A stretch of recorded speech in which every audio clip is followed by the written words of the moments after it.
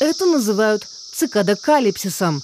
И хотя у них красные устрашающие глаза, насекомые из этой группы, известные под названием магические или периодические цикады, не кусаются, не переносят болезни и не представляют опасности для экосистем, хотя они довольно громкие. Взрослые цикады живут всего несколько недель, выходя из-под земли, чтобы спариться и отложить яйца на деревьях, после чего умирают. Молодые насекомые, называемые нимфами, вылупляются из яиц через несколько недель, падают на землю и зарываются в нее.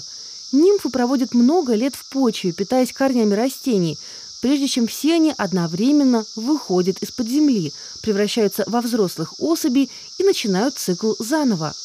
Не все периодические цикады появляются в одни и те же годы. Тех цикад, которые появляются через одинаковые промежутки времени в одних и тех же географических точках, называют выводками.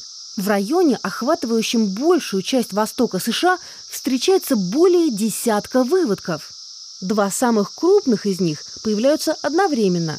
Последний раз эти два выводка появлялись вместе в 1803 году. Это связано с тем, что один из выводков появляется только раз в 17 лет, а другой – раз в 13 лет. Два простых числа. Таким образом, совпадение появления обеих популяций происходит лишь раз в 221 год.